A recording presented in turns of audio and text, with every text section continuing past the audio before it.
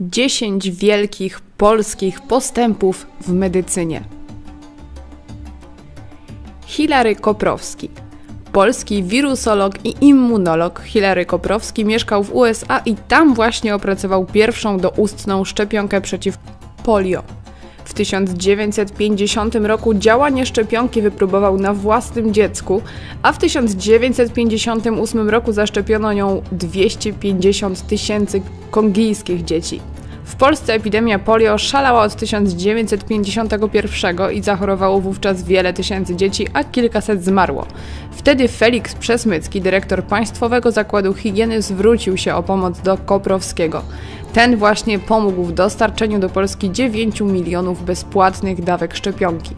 Efekt oczywiście był natychmiastowy, liczba zachorowań zaczęła gwałtownie spadać, o ile w 1959 roku zanotowano jeszcze ponad 1000 zachorowań, tak 4 lata później na Heinego Medina zachorowało już tylko 30 osób. Liczba zgonów spadła z kilkuset rocznie do dwóch. Badania nad kiłą.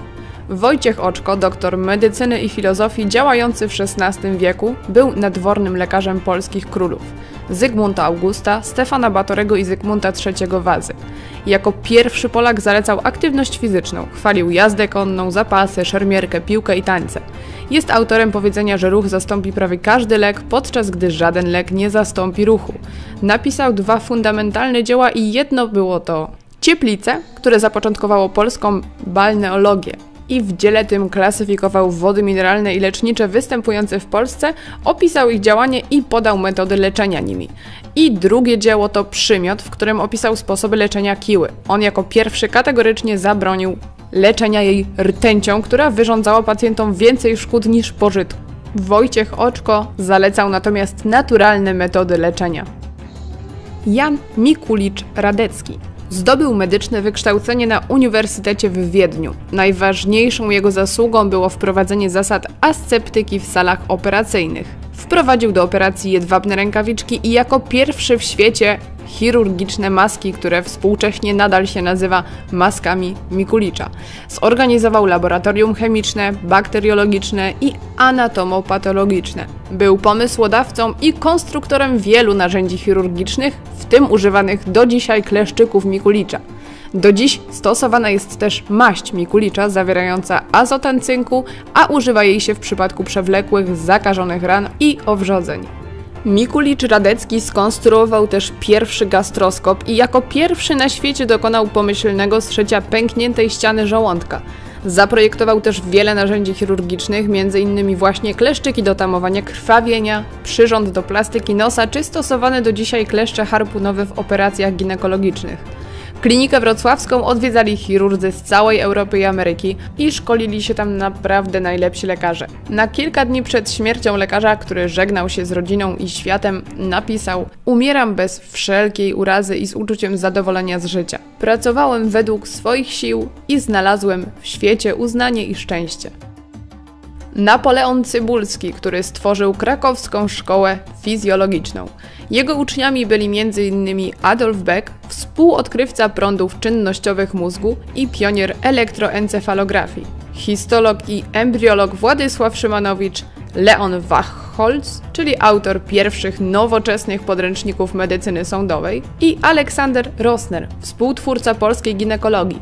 Napoleon Cybulski dał początek nowej nauce medycznej endokrynologii. W 1895 roku lekarz odkrył hormony rdzenia nadnerczy, adrenalinę, noradrenalinę i dopaminę.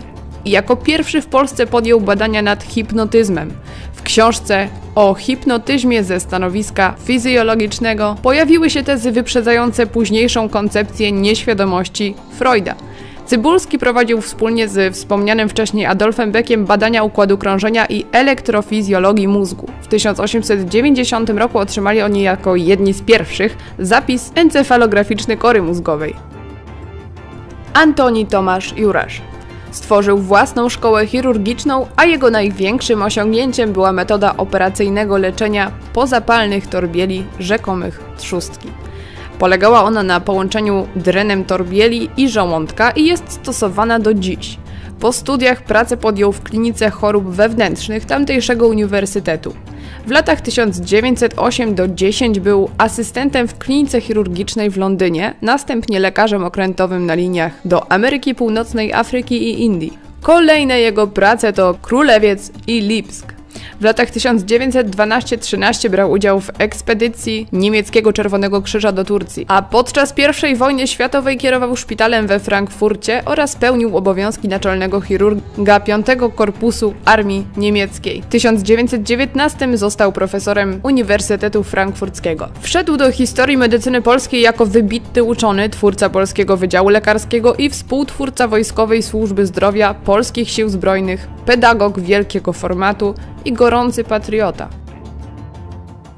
Czterokrotnie zgłaszany do Nagrody Nobla profesor Rudolf Weigl opracował na Uniwersytecie Jana Kazimierza w Lwowie szczepionkę, która do wybuchu II wojny światowej była jedynym skutecznym i wypróbowanym środkiem przeciw tyfusowi plamistemu, które w tym czasie zbierał wielkie żniwo śmierci. Podczas II wojny światowej Niemcy bali się tyfusu, dlatego zapotrzebowanie na tę szczepionkę było ogromne. Okupanci pozwolili więc polskiemu profesorowi na kontynuację jego doświadczeń. Profesor zatrudnił wówczas wielu Polaków, którzy karmili swoją krwią wykorzystywane do badań nad tyfusem, dzięki czemu uratował ich od śmierci. Weigl nielegalnie dostarczał szczepionkę oddziałom AK do getta w Lwowie i w Warszawie, a nawet do obozu koncentracyjnego w Oświęcimiu i na Majdanku.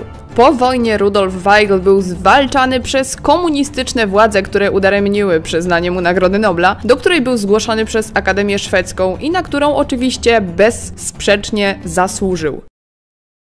Profesor Tadeusz Krwawicz był pierwszym, który w listopadzie w 1962 roku wygłosił w Chicago w USA wykład na temat krioterapii oka. Omówił tam metodę polegającą na zamrożeniu rogówki po to, żeby usunąć w ten sposób zaćmę. Jego metoda krioekstrakcji była wielkim krokiem w dziejach okulistyki. Z kolei wybitnym kardiochirurgiem był, mam nadzieję, że już na pewno wszystkim znany profesor Zbigniew Religa. To on właśnie 5 listopada w 1985 roku wraz z zespołem przeprowadził w Polsce pierwszą udaną transplantację serca. Od tych pionierskich czasów w transplantologii serca szanse powodzenia takich operacji na pewno znacznie się zwiększyły. Hipotermia. Profesor Janusz Skalski, kierownik kliniki kardiochirurgii w Szpitalu Dziecięcym w Krakowie, który był zaangażowany w ratowanie skrajnie wychłodzonego dwuletniego Adasia. Pewnie pamiętacie takie wydarzenia, ale jeśli nie, to Wam przypomnę, choć jest okropnie smutne. Mianowicie rok 2014 i dwuletni Adaś, który wychodzi z domu w samej piżamie i omal nie zamarza. Znaleziony w stanie śmierci klinicznej, wychłodzony do 12 stopni Celsjusza. Nikt wcześniej nigdy na świecie nie, nie uratował pacjenta z tak głębokiej hipotermii. Nie dawał żadnych znaków życia, nie oddychał, nie pracowało jego serce. Lekarze mogli stwierdzić zgon, ale profesor Janusz Skalski z zespołem Kliniki Kardiochirurgii Dziecięcej uratowali jego życie. Pierwszy przeprowadzony w Polsce przeszczep twarzy został uznany za najlepszy na świecie zabieg rekonstrukcyjny 2013 roku podczas zjazdu Amerykańskiego Towarzystwa Chirurgii Rekonstrukcyjnej i Mikronaczyniowej. Operacja, którą przeprowadził w Gliwickim Centrum Onkologii zespół pod kierownictwem profesora Adama Maciejewskiego, było pierwszym na świecie przeszczepem twarzy przeprowadzonym dla ratowania życia, no i się udała. Pacjent wcześniej doznał rozległego urazu podczas pracy, maszyna do cięcia kostki brukowej zerwała mu prawie całkowicie twarz, no i próba replantacji odciętej części twarzy, która dotarła do szpitala kilka godzin po wypadku, zakończyła się niepowodzeniem. Obrażenia były takie duże, że 33-latek nie miał właściwie szans na przeżycie, a stan się tylko pogarszał. Rozpoczęły się więc poszukiwania dawcy i został nim młody mężczyzna, u którego lekarze stwierdzili śmierć pnia mózgu. Lekarze ze Szpitala Uniwersyteckiego we Wrocławiu w 2016 roku z powodzeniem przeprowadzili operację, dzięki której sparaliżowany po przecięciu rdzenia kręgowego mężczyzna mógł wstać z wózka inwalidzkiego. Pacjentem doktora habilitowanego Pawła Tabakowa, neurochirurga, był Dariusz Fidyka, strażak całkowicie sparaliżowany po tym, gdy został zaatakowany nożem, a jego rdzeń kręgowy przecięty – Innowacyjna metoda wrocławskich lekarzy polegała na tym, że do uszkodzonego rdzenia lekarze przeszczepili komórki nerwowe, które pobrali z opuszki węchowej w czaszce. Pół roku po przeszczepie pacjent postawił pierwsze kroki, no a później poruszał się samodzielnie, a nawet jeździł na rowerze w stosunkowo niedługim czasie po operacji. Dzięki to już wszystko w dzisiejszym odcinku. Mam nadzieję, że ten temat Wam się spodobał. Jeśli tak jest, to koniecznie zostawcie łapkę w górę pod tym filmem, a ja serdecznie zachęcam Was do sprawdzania mojego kanału, a to ciekawe. Cześć!